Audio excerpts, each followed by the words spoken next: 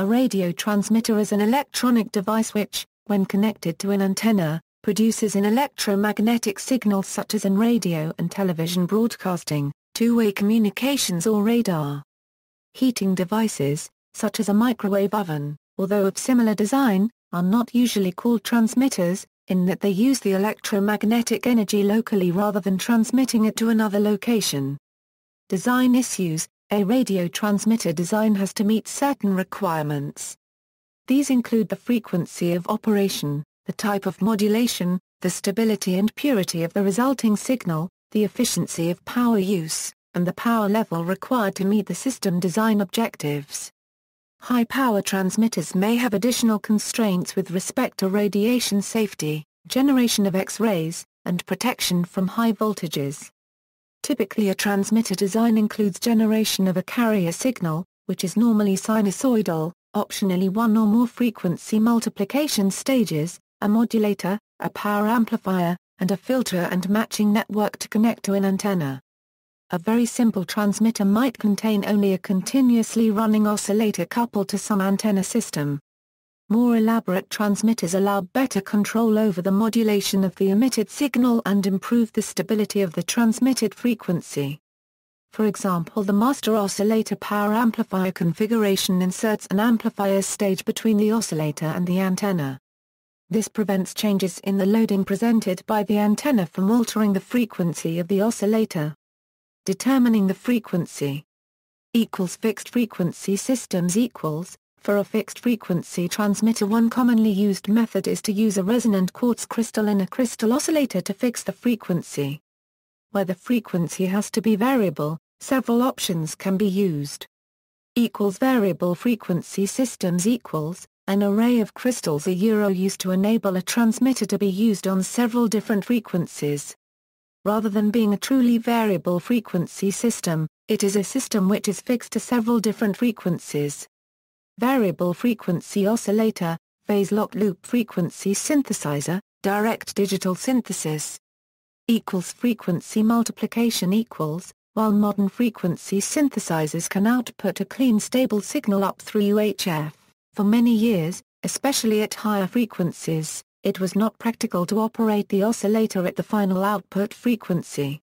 For better frequency stability, it was common to multiply the frequency of the oscillator up to the final, required frequency. This was accommodated by allocating the shortwave amateur and marine bands in harmonically related frequencies such as 3.57 14 and 28 MHz. Thus one crystal or VFO could cover several bands. In simple equipment this approach is still used occasionally.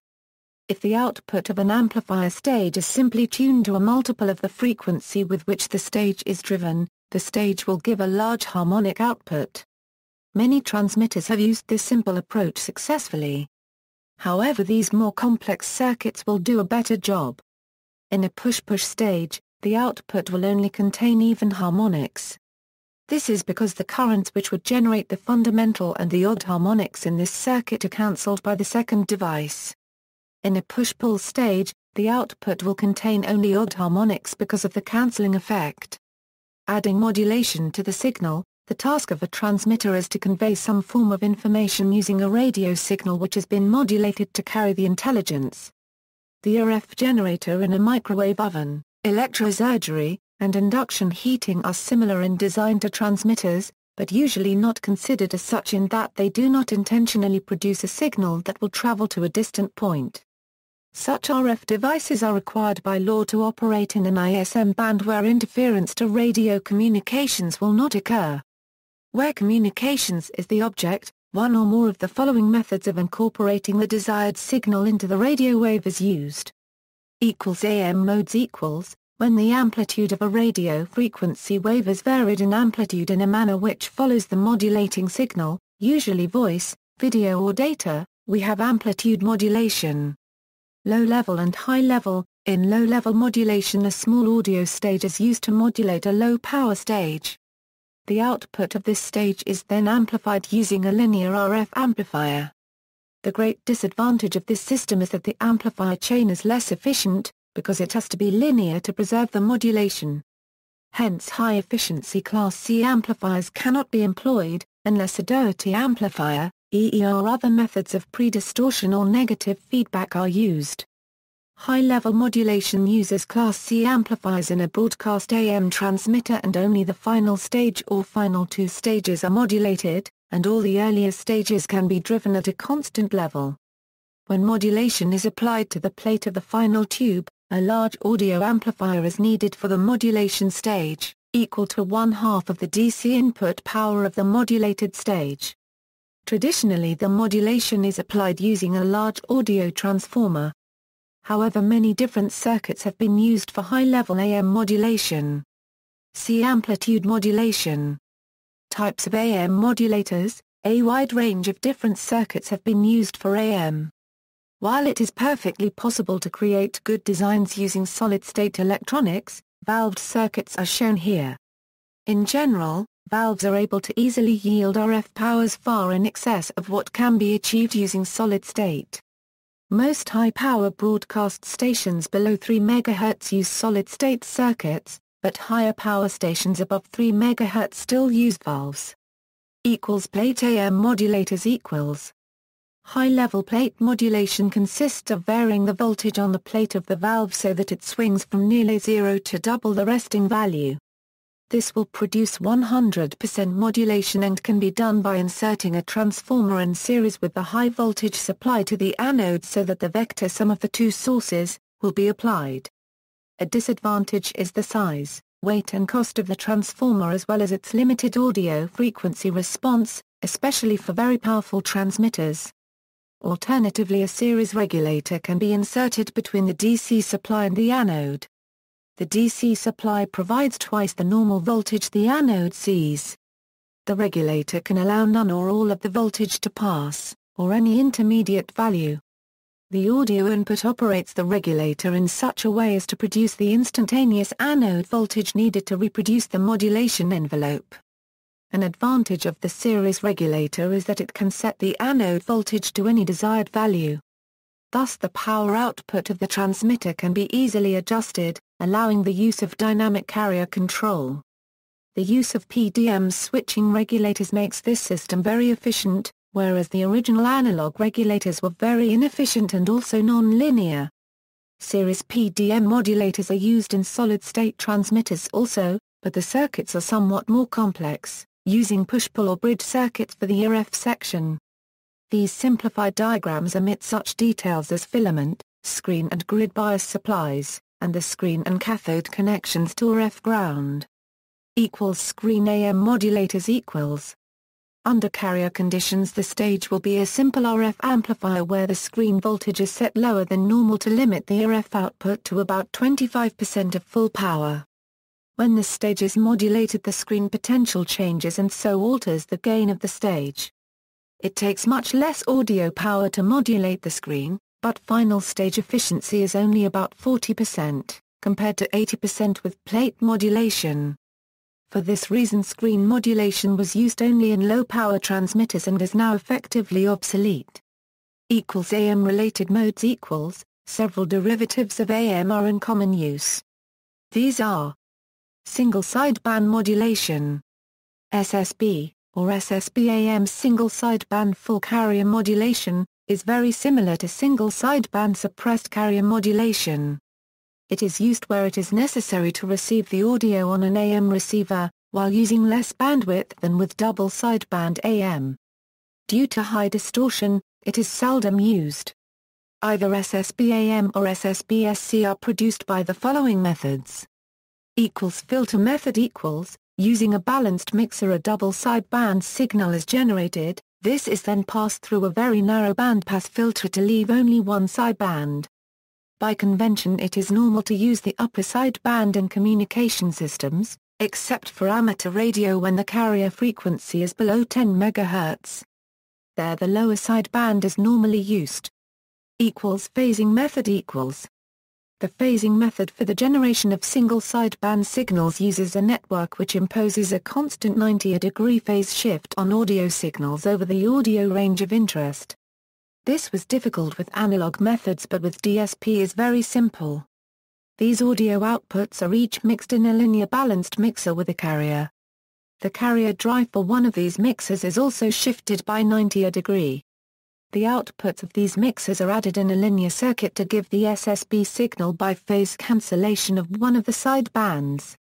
Connecting the 90 degree delayed signal from either the audio or the carrier to the other mixer will reverse the side band, so either USB or LSB is available with a simple DP-DT switch. Vestigial sideband modulation Vestigial sideband modulation is a type of modulation system commonly used in analog TV systems. It is normal AM which has been passed through a filter which reduces one of the side bands. Typically, components of the lower sideband more than 0.75 MHz or 1.25 MHz below the carrier will be heavily attenuated. Equals Morse equals, Morse code is usually sent using on-off keying of an unmodulated carrier. No special modulator is required. This interrupted carrier may be analyzed as an AM modulated carrier. On-off keying produces sidebands, as expected, but they are referred to as key clicks. Shaping circuits are used to turn the transmitter on and off smoothly instead of instantly in order to limit the bandwidth of these sidebands and reduce interference to adjacent channels. Equals FM modes equals, angle modulation is the proper term for modulation by changing the instantaneous frequency or phase of the carrier signal. True FM and phase modulation are the most commonly employed forms of analog angle modulation. Direct FM Direct FM is where the frequency of an oscillator is altered to impose the modulation upon the carrier wave. This can be done by using a voltage-controlled capacitor in a crystal-controlled oscillator or frequency synthesizer. The frequency of the oscillator is then multiplied up using a frequency multiplier stage, or is translated upwards using a mixing stage, to the output frequency of the transmitter. The amount of modulation is referred to as the deviation, being the amount that the frequency of the carrier instantaneously deviates from the center carrier frequency. Indirect FM Indirect FM employs a varicap diode to impose a phase shift in a tuned circuit that is fed with a plain carrier. This is termed phase modulation. In some indirect FM solid-state circuits, an RF drive is applied to the base of a transistor. The tank circuit, connected to the collector via a capacitor, contains a pair of varicap diodes. As the voltage applied to the varicaps is changed, the phase shift of the output will change. Phase modulation is mathematically equivalent to direct frequency modulation with a 6 dB octave high-pass filter applied to the modulating signal. This high-pass effect can be exploited or compensated for using suitable frequency shaping circuitry in the audio stages ahead of the modulator. For example, many FM systems will employ pre-emphasis and de-emphasis for noise reduction, in which case the high-pass equivalency of phase modulation automatically provides for the pre-emphasis. Phase modulators are typically only capable of relatively small amounts of deviation while remaining linear, but any frequency multiplier stages also multiply the deviation in proportion. Equals digital modes equals, transmission of digital data is becoming more and more important. Digital information can be transmitted by AM and FM modulation, but often digital modulation consists of complex forms of modulation using aspects of both AM and FM. COFDM is used for DRM broadcasts. The transmitted signal consists of multiple carriers each modulated in both amplitude and phase. This allows very high bit rates and makes very efficient use of bandwidth. Digital or pulse methods also are used to transmit voices in cell phones, or video as in terrestrial TV broadcasting. Early text messaging such as RTTY allowed the use of Class C amplifiers, but modern digital modes require linear amplification. See also sigma delta modulation. Amplifying the signal. Valves, for high power, high frequency systems it is normal to use valves. Please see, valve RF amplifier for details of how valved RF power stages work. Valves are electrically very robust, they can tolerate overloads which would destroy bipolar transistor systems in milliseconds. As a result, valved amplifiers may resist mistuning, lightning and power surges better. However, they require a heated cathode which consumes power and will fail in time due to loss of emission or heater burnout. the high voltages associated with valve circuits are dangerous to persons. For economic reasons, valves continue to be used for the final power amplifier for transmitters operating above 1.8 MHz and with powers above about 500 watts for amateur use and above about 10 kW for broadcast use. Equals solid state equals, solid state devices either discrete transistors or integrated circuits, are universally used for new transmitter designs up to a few hundred watts. The lower level stages of more powerful transmitters are also all solid state. Transistors can be used at all frequencies and power levels, but since the output of individual devices is limited, higher power transmitters must use many transistors in parallel, and the cost of the devices and the necessary combining networks can be excessive. As new transistor types become available and the price drops, solid state may eventually replace all valve amplifiers. Linking the transmitter to the aerial, the majority of modern transmitting equipment is designed to operate with a resistive load fed via coaxial cable of a particular characteristic impedance, often 50 ohms. To connect the power stage of the transmitter to this coaxial cable transmission line a matching network is required. For solid-state transmitters this is typically a broadband transformer which steps up the low impedance of the output devices to 50 ohms. A tube transmitter will contain a tuned output network, most commonly a PI network, that steps the load impedance which the tube requires down to 50 ohms. In each case the power-producing devices will not transfer power efficiently if the network is detuned or badly designed or if the antenna presents other than 50 ohms at the transmitter output. Commonly an SWR meter and or directional wattmeter are used to check the extent of the match between the aerial system and the transmitter via the transmission line. A directional wattmeter indicates forward power, reflected power, and often SWR as well. Each transmitter will specify a maximum allowable mismatch based on efficiency, distortion, and possible damage to the transmitter. Many transmitters have automatic circuits to reduce power or shut down if this value is exceeded. Transmitters feeding a balanced transmission line will need a balun. This transforms the single-ended output of the transmitter to a higher impedance balanced output. High-power shortwave transmission systems typically use 300 ohm balanced lines between the transmitter and antenna. Amateurs often use 300 to 450 ohm balanced antenna feeders.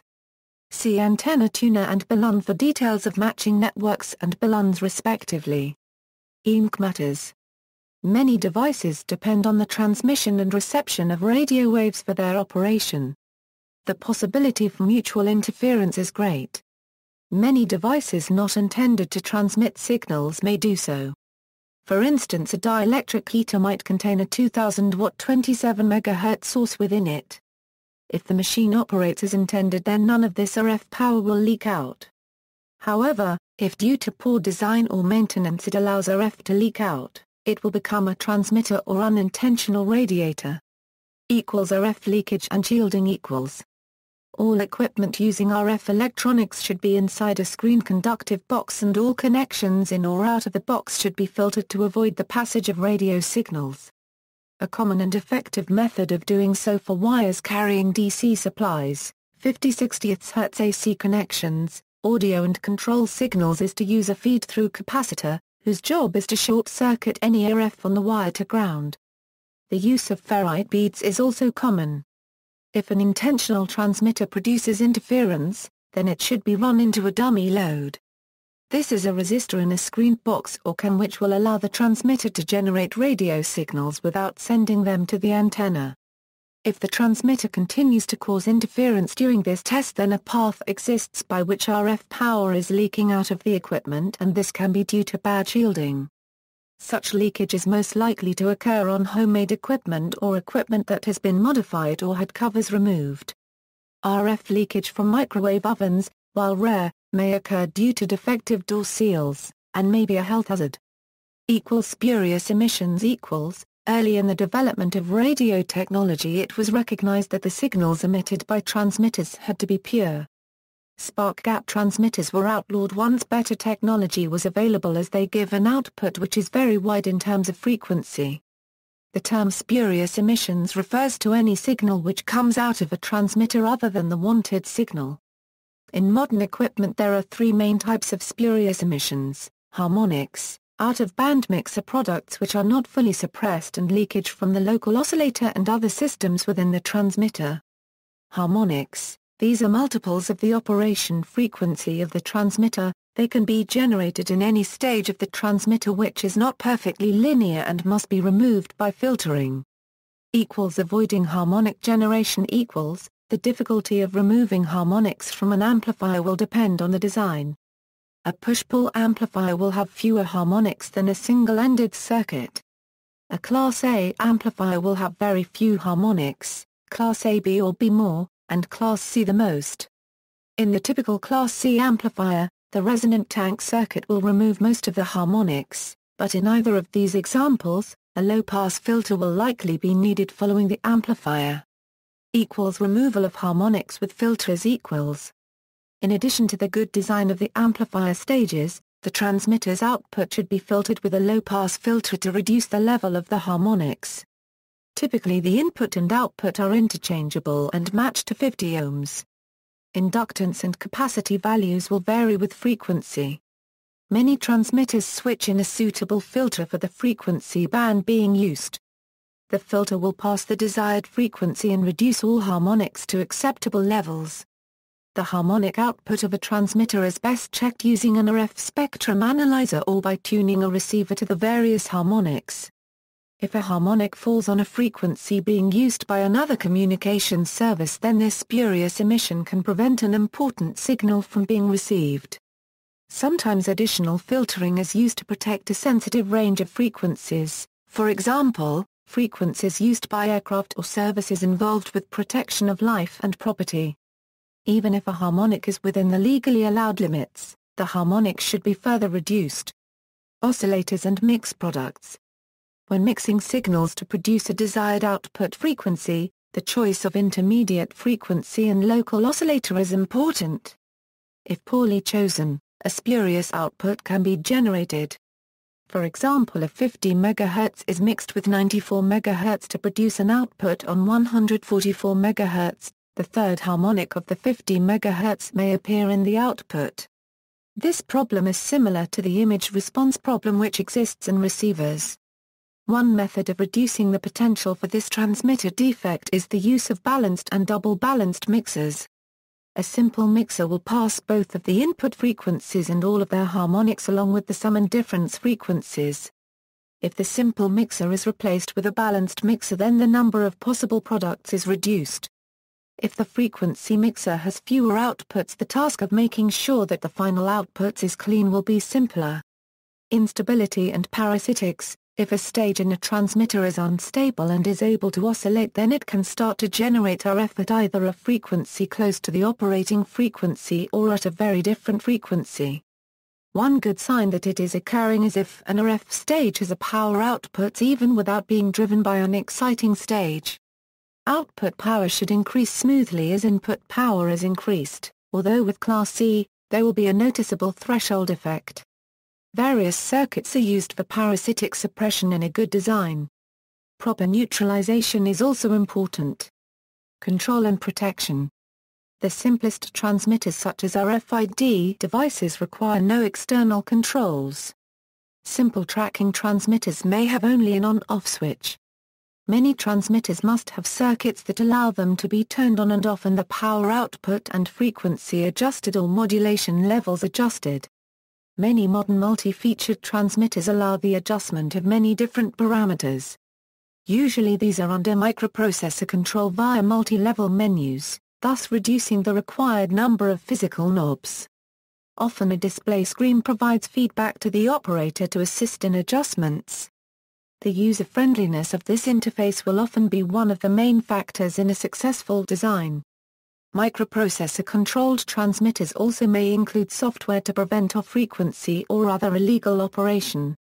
Transmitters using significant power or expensive components must also have protection circuits which prevent such things as overload, overheating or other abuse of the circuits. Overload circuits may include mechanical relays, or electronic circuits. Simple fuses may be included to protect expensive components. Arc detectors may shut off the transmitter when sparks or fires occur. Protection features must also prevent the human operator and the public from encountering the high voltages and power which exist inside the transmitter. Tube transmitters typically use DC voltages between 600 and 30,000 volts, which are deadly if contacted. Radio frequency power above about 10 watts can cause burning of human tissue through contact and higher power can actually cook human flesh without contact. Metal shielding is required to isolate these dangers. Properly designed transmitters have doors or panels which are interlocked, so that open doors activate switches which do not allow the transmitter to be turned on when the dangerous areas are exposed. In addition either resistors which bleed off the high voltages or shorting relays are employed to ensure that capacitors do not retain a dangerous charge after turn-off. With large high-power transmitters, the protective circuits can comprise a significant fraction of the total design complexity and cost. Power supplies Some RFID devices take power from an external source when it interrogates the device, but most transmitters either have self-contained batteries, or are mobile systems which typically operate directly from the 12-volt vehicle battery. Larger fixed transmitters will require power from the mains. The voltages used by a transmitter will be AC and DC of many different values. Either AC transformers or DC power supplies are required to provide the values of voltage and current needed to operate the various circuits. Some of these voltages will need to be regulated. Thus a significant part of the total design will consist of power supplies. Power supplies will be integrated into the control and protection systems of the transmitter, which will turn them on in the proper sequence and protect them from overloads. Often rather complicated logic systems will be required for these functions. See also, distributed active transformer a Euro low voltage transistors used to generate radio frequencies. References Citations and notes. General information, American Radio Relay League The ARRL Handbook for Radio Communications. ISBN 978-087259-663-4 all equals http www.arrl.org slash ARRL-handbook-2013, Radio Society of Great Britain Radio Communication Handbook Potters Bar, Hertfordshire, England Radio Society of Great Britain. ISBN 0-900612-58-4, Terman, Electronics and Radio Engineering. McGraw-Hill, Frederick H. Raab, ALRF and Microwave Power Amplifier and Transmitter Technologies, Part 2. High Frequency Design, pages 22 FF http www.scribd.com 8616046-RF Power Amplifier and Transmitter Technologies Part 2, Historical Interest, Bucher, EE. Practical Wireless Telegraphy. A complete textbook for students of radio communication. New York, etc. Wireless Press. Sleeper, MB Design Data for Radio Transmitters and Receivers. Everyday Engineering Series, No. 6. New York, Norman W. Henley Pub.